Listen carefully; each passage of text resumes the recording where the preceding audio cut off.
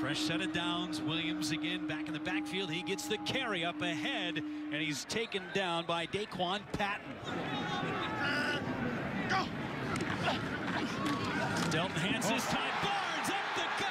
Touchdown, K-State. That looks like K-State football.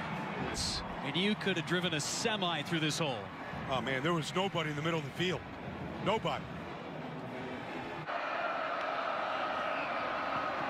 Bender, play action, caught, touchdown! That's Booker. Now the offense is alive in the Sunflower Showdown. Just a quick slant off of play action. Faking that ball to Herbert. You're going to get this handoff here. And then you're going to get the slant on the backside by Booker. Good play action that time. The Wildcat with Barnes. He takes. Barnes walks into the end zone. Touchdown is second of the afternoon. Made a man miss. The original Wildcat.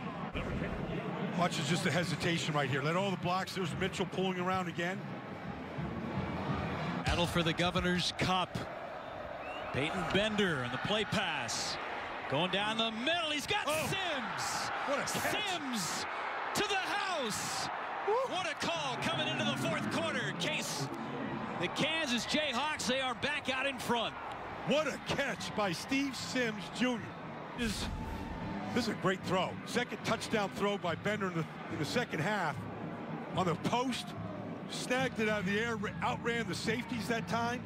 Kendall Adams, the safety on the play.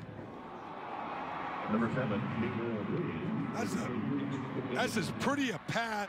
Defense couldn't see it. He was playing blind to it. 28 yards on that pickup. Here comes Delton following Barnes. Delton to the house. K-State back out in front. What a second half by Alex Delton. Block. Watch Barnes here. Set it up here. Now there it is. There's the freeze. He puts the hit right here on Lee. The pursuit doesn't get there, and Alex Delton, one timeout left that he can use. And he's going to keep it in his pocket. Yeah. And K-State will win their 10th straight game in this rivalry. And Bill Snyder and his Wildcats will improve to 4 and 6. And for Kansas, two mistakes today.